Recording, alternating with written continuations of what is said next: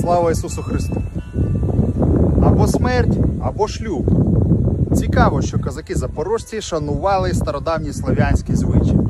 Засудженого до смерті козака мали помилувати, якщо самотня дівчина або жіночка висловлювала бажання вийти за нього заміж. Щоправда, інколи з цього приводу траплялися драматичні конфузи. Наприклад, наприкінці 17 століття саме такий випадок е, відбувся в одному з сіл поблизу Батурина, козацької гетьманської столиці. Засудженого козака везли на кінній поводі до лобного місця страти.